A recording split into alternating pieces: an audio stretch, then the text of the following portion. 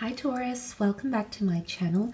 Otherwise, this reading is for Taurus, Sun, Moon, Rising, Venus.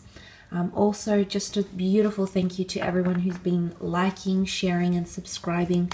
It really does mean a lot. The channel has grown so much, so I'm forever thankful. So, thanks so much for doing that, Taurus. Let's jump into it and have a look and see when you could potentially be meeting your soulmate. Okay.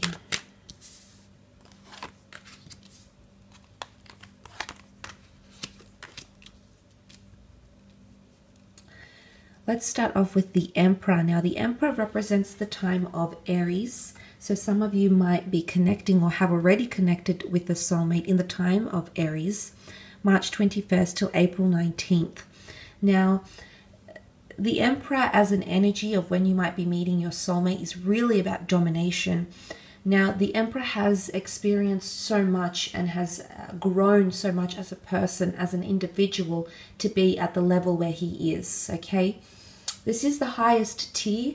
Um, it is quite powerful, much like the King of Pentacles, which you are actually coming up as, which I love.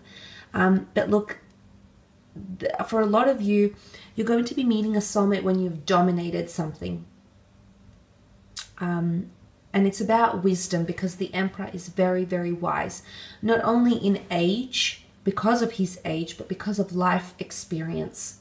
So I feel for a lot of you, there's an area of your life that once you dominate or once you reach a certain level of, that's when this person is going to come into your life. Now, because the Aries sign that represents the Emperor is the beginning of the zodiac, it could indicate there's something about new starts and new beginnings. For example, some of you might be starting a new career path, and that could lead you to a soulmate. For others, it could be a new living situation. You might become an expat. Uh, you might be starting on a new career path. You might be embarking on building and rebuilding new relationships with family, friends, past lovers, etc. Um, but it's also tied into somehow in new beginnings because the Aries energy brings a surge of motivation. Okay, so it's even like a new challenge. Aries love a challenge, okay? And the fact that that's coming up around you, Taurus, could indicate that an, a new challenge will come up in your life, and that's when your soulmate could be coming in.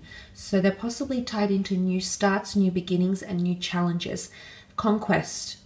Okay, the Emperor was known for his dominions, for what he had, for what he represented, and he had a lot.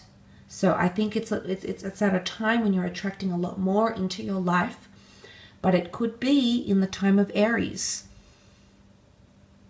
very much. You know, uh, that's coming up early next year. So for a lot of you, that could be when you're connecting with this person. This is further supported by the King of Wands. Now, the King of Wands isn't as concrete as the Emperor. So for some of you, the King of Wands can represent an unsettled, excited energy. He also likes to move around and not stay in one place for too long. So I feel for a lot of you, a soulmate is coming in when you have more adventure or movement or even freedom in your life. The King of Wands loves freedom. Freedom in living situation, freedom to choose what he wants to do, freedom um, slash adventurism, spontaneity. So for a lot of you, I feel there's a soulmate coming in when you have more freedom and more movement in your life. Now for some of you, it can represent adventure, it can represent relocation. So you might be meeting a soulmate at a time when you're moving home, at a time when you're going on a trip, be it international, local, interstate, um, commuting.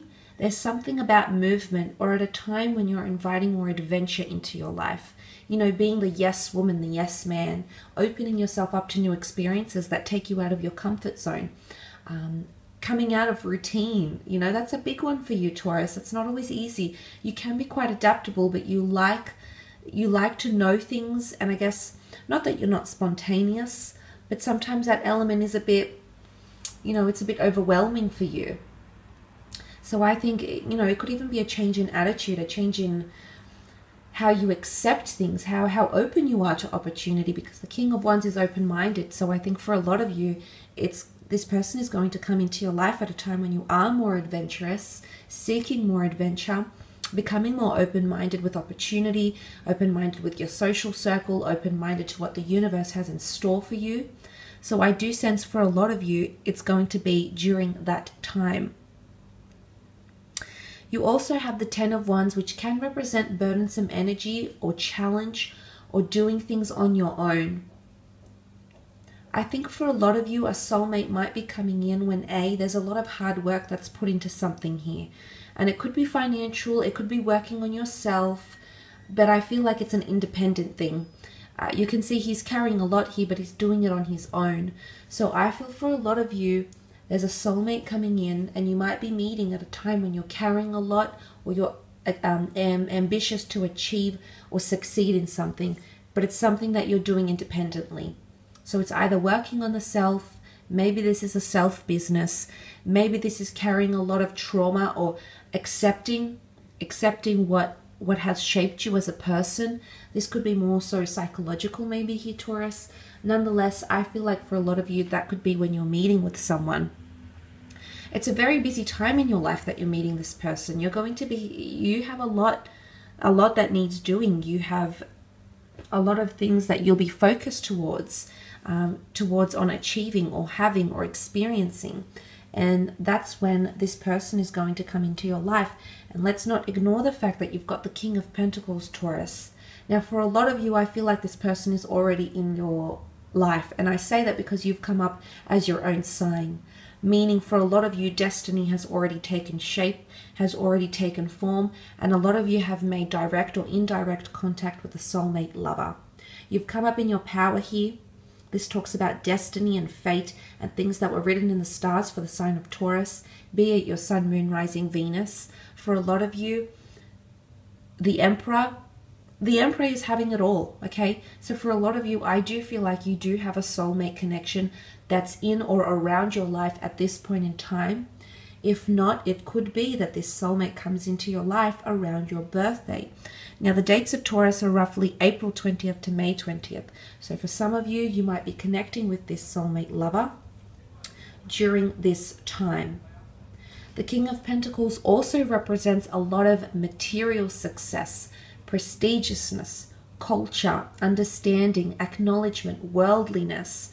So, for a lot of you, this person could be coming in when you're immersing yourself more in customs, in traditions, in cultures, um, getting back in touch with your traditional roots, possibly even at a time when you have a certain material um, wealth that's acquired to you. It might be when you gain a new asset, it might be when you reach a prestigious new title in your career.